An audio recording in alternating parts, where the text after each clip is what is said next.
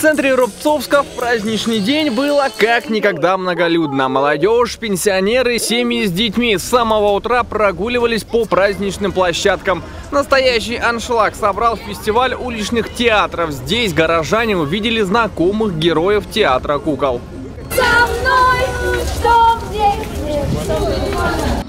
на главной площади города расположились народные умельцы. Выставка мастеров удивляла своим разнообразием. Изделия из камня, дерева, бусы, матрешки, мягкие игрушки и многое другое. Параллельно проходил и фестиваль народного творчества. На площадках выступали лучшие творческие коллективы города и края.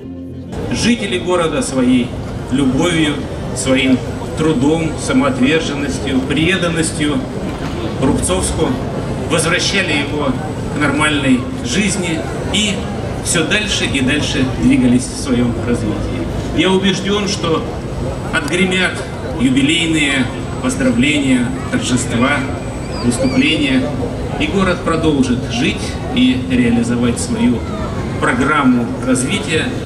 А жители наслаждались солнечной погодой и делились с нами тем, за что они любят свой город.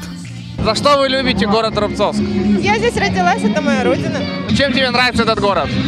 Потому что здесь парки. Я люблю Рубцовск за очень доброжелательных людей, приветливых, э, за наши достопримечательности. А завершился День города праздничным салютом. В этом году фейерверк вызвал у рубцовчан настоящий восторг. Такого красочного и продолжительного шоу здесь не было давно.